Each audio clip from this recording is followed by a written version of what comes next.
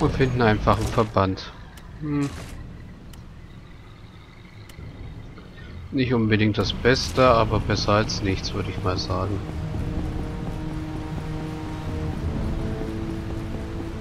Also hat diese dreimal verfluchte Schatzhändlerin, die uns ja in den Tod, Tod locken wollte, mehr Dreck am Stecken, als wir zuerst vermutet haben.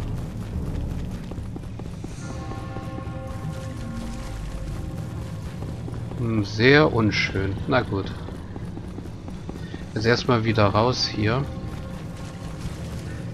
Äh, ja. Aber selbst diese Schatzhöhle hier, der Ausgang vor allem, sehen wieder sehr toll aus.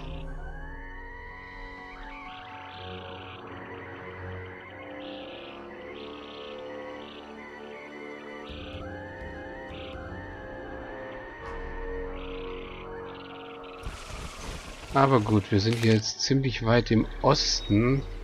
Dann gehen wir mal weiter nach Osten und suchen den Steinkreis. Der soll ja angeblich hier irgendwo sein. Schnellreisepunkt nördlich, nord, nördlicher Wald, ja. Das da oben sieht wie der Steinkreis aus. Jo.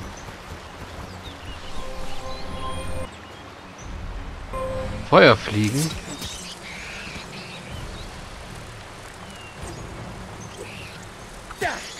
Okay, ich denke mal, was immer hier die Sachen zum Spawnen bringt, es sind äh, keine Munition, ist nicht so gut.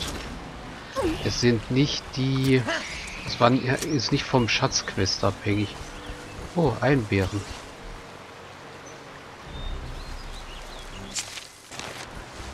Auch wenn ich jetzt wieder ziemlich viele Einbeersäfte habe, aber die kommen mit. Einbeeren sind immer willkommen und ein Braunbär.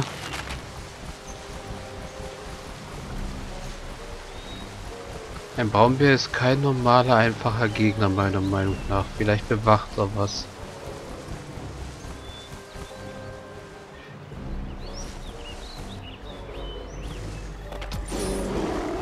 Und ja, das war jetzt gerade nicht sehr rollenspieltypisch, was ich von mir gegeben habe. Aber ich denke einfach mal...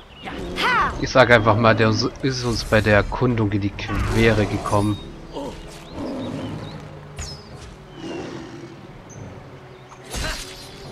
Beziehungsweise Vorgrim wollte sich einfach mit ihm messen.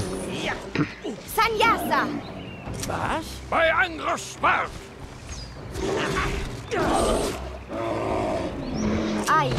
Und er schmeißt Quano nochmal um, bevor er auf die Bretter geht. Aber sicher.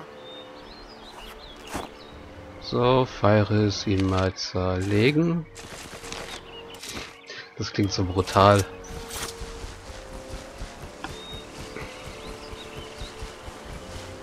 Hier ist auf jeden Fall noch Zunderschwamm. Sehr schön. Und ein Bären. Gut.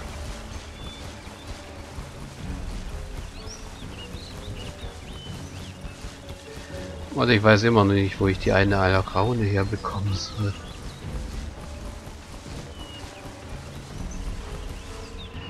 Ne, die Feuerfliegen die ignorieren wir mal. Gulmond, Gulmond, Sonderschwamm, Gulmond. Vielleicht habe ich im Jagdrevier ja Glück. Ja? Ja. Vorgrim ist zwar noch nicht ganz hochgeheilt, aber mit dem einen Wildschwein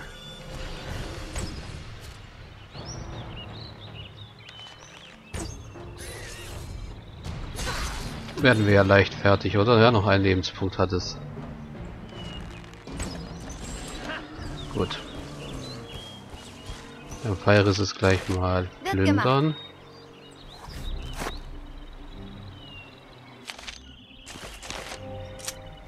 Und wir haben hier noch mehr Gulmond und Zunderschwamm. Ach, warum zähle ich den Gulmond auf? Den brauche ich eigentlich gar nicht. Ich brauche eher den Zunderschwamm, obwohl ich den eigentlich Ah, hier ist nur Gulmond. Was will ich denn hier mit dem Gulmond? Ich will da drüben an den Zunderschwamm kommen. Und der Rest kann auch ruhig mal mitkommen.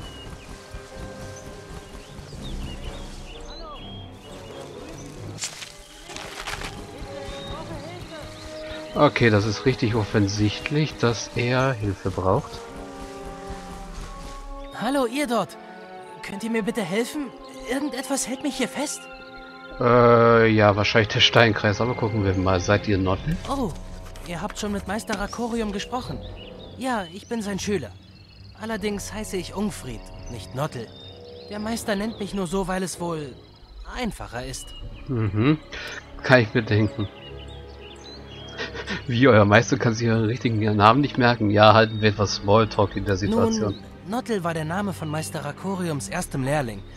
Und der Einfachheit halber nennt er seitdem alle seine Skolaren so. Ähm, als Spektabilität ist er eben sehr beschäftigt. Ja, er ist sehr spektabel. Äh, Rakorium sucht der euch. Mutter der Weisheit sei Dank. Ich war mir nicht mal sicher, dass er schon gemerkt hat, dass ich nicht mehr da bin. Könntet ihr mir helfen? Sonst stehe ich hier wohl noch die ganze Nacht. Wie wär's mit hinsetzen? Aber ich glaube nicht mal das geht wahrscheinlich. Was ist passiert? Ich wollte mir diesen Steinkreis ansehen. Kompendium wunderwirksamer Steine wird er als außergewöhnliches Exemplar beschrieben. Er ähnelt Werken zwergischer Geoden, ist aber wohl noch älter. Äh, werde ich jetzt mit so einem Stonehenge-Druiden verglichen? Auf dem Weg hierher sind mir merkwürdige magische Fallen aufgefallen. Offenbar eine Art gebundener Transversalis. Am Steinkreis selbst war eine starke magische Spannung zu spüren. Sehr seltsam. Ja, die Hirsche haben hier definitiv was dagegen, auch wenn sie einfach so an ihm vorbeilatschen. sprach ein Analyst auf die Steine und dabei muss es zu einer Art Rückkopplung gekommen sein. Die arkanen Ströme fließen nun durch mich hindurch und halten mich hier fest. Äh, hört ihr noch zu? Äh, ja, wie kann ich, kann ich euch helfen? Zwischen diesen Steinen hier hat sich eine magische Matrix aufgebaut, die mich daran hindert, diesen Ort zu verlassen. Ihr müsst einen Weg finden, den Zufluss an magischen Energien zu unterbrechen. Äh, ja. Ich glaube, dass die Quelle dieser Energien irgendwo unterhalb dieses Steinkreises liegt. Auf dem Weg hierher kam ich an einem Höhleneingang vorbei. Vielleicht findet ihr dort etwas. Okay, Leider noch eine Höhle. Aber ich bin sicher, dass euch mein Meister Rakorium da weiterhelfen kann. Er ist ein Experte der Verwandlungsmagie. Bitte, geht zu ihm und bittet ihn, euch zu helfen. Sucht in der Höhle nach der Quelle der magischen Ströme und versucht sie zu schließen. Okay. Das hier ist die Höhle die von dem Felsen blockiert wird. Da hoch können wir nicht. Wir können uns nur die herrliche Landschaft ansehen. Und ja, ich mach's schon wieder, ich weiß. Aber gut. Das heißt jetzt erst einmal zurück zum Schnellreisepunkt, dann zurück zum Meister Rakoriam. Oder wie er nochmal? Rakorium. Ja,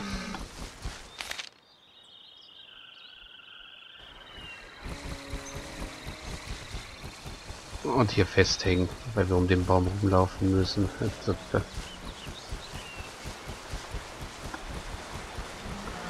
Ah, selbst hier ist ein schöner Fluss, der in die Dunkelheit mündet. Sieht ungemütlich aus in der Richtung. In der Richtung sieht schön aus. Aber ich denke mal, bevor wir jetzt hier... Obwohl, ich reise gleich zurück. So. So, Meister Rakoriam. Hier?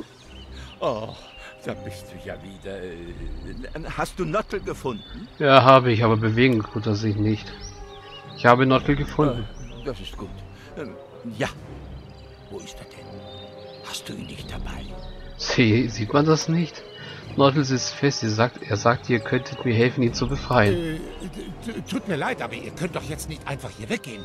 Wir müssen doch erst den Zoll klären. Ah. Oh, richtig. Die beiden Herren wollten ja auch noch ihre Angelegenheit mit mir besprechen. Hm, dann muss ich wohl erstmal hier bleiben. Das gebietet schließlich die Höflichkeit. Hm. Das ist jetzt eine Zwickmühle. Er kann den Zoll nicht klären, weil er zu verpeilt ist. Das kann nur sein Novize, aber der sitzt ja fest. Und um ihn loszukriegen, müssen wir ihn von hier wegkriegen. Kannst du nicht so lange gehen und ihn befreien? Wie sitzt er denn fest? Hm? Äh, okay, Magie Kondukuano, zum Glück kann der das. Er scheint, in, in, äh, er scheint an die magische Matrix des Steinkreises gewonnen worden zu sein, ist dort sozusagen ein lebender Bestandteil der Magie dort geworden. Die Quelle scheint sich irgendwo unterhalb des Steinkreises zu befinden. Unterhalb? Nun, um die Bindung zu brechen, muss man nur die Spannungen in der Quelle auflösen. Dazu geht man am besten zum Ursprung der magischen Energie. Soweit waren wir auch schon, aber da ist ein großer Felsen im Weg. Verschüttet? Oh, das kenne ich noch von meinen Expeditionen. Hier, nimm dies.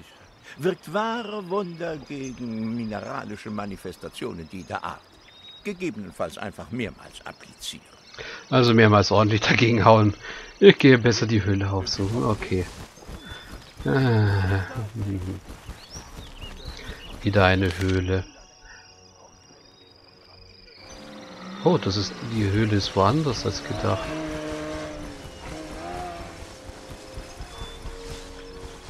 Ne, das war ein Hirsch. Ich dachte schon, da hinten wäre vielleicht wieder Wölfe. Hier wäre die Höhle, mit die, dem wir den wo wir den Felsen weghauen können. Ah, jetzt kommt Smaragdspinnen.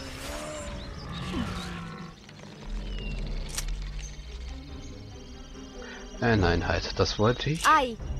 Weiche! Iris, mhm. äh... Angriff! Und ja, das ist wirklich irgendwie... Ja?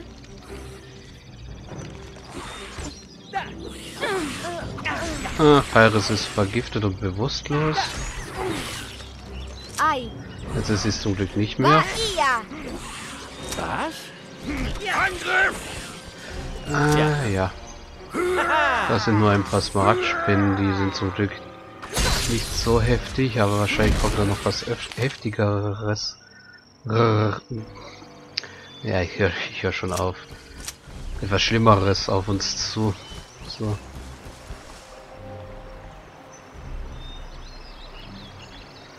Und schwupps sind wir den Schutt weg. Und Quado wollte gerade irgendwas sagen, was wir übersprungen haben. Entschuldigung. Aber können wir ja gleich nochmal nachlesen. Steht's noch? Nein, steht leider nicht, weil neu geladen wurde. Okay, da ist der Ausgang.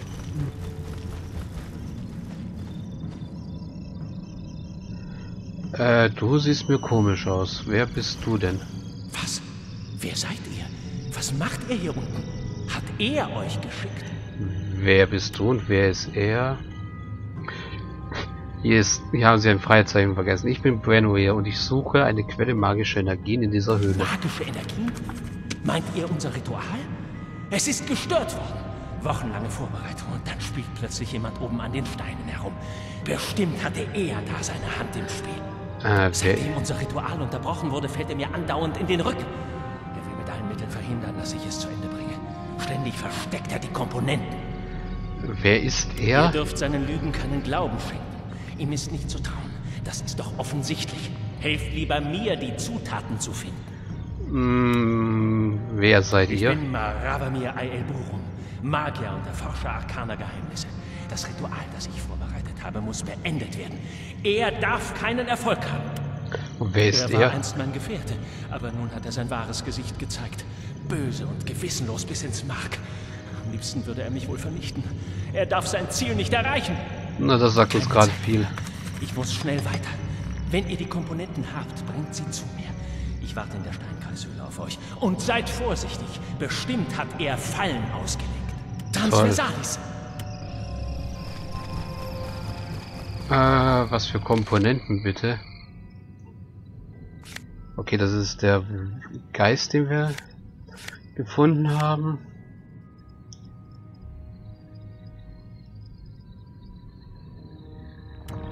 Okay, wir haben zwei Zauberer.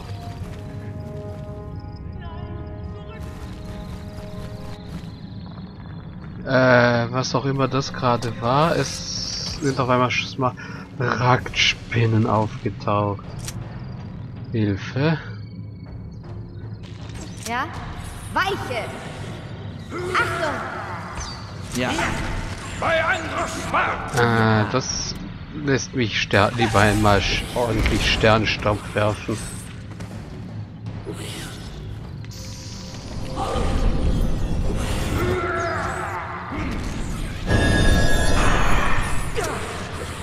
Okay, die Smaragdspinne ist lästig. Ja, weiche!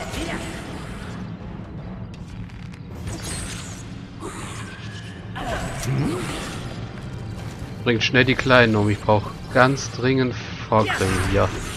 Angriff! Was? Ah, ja.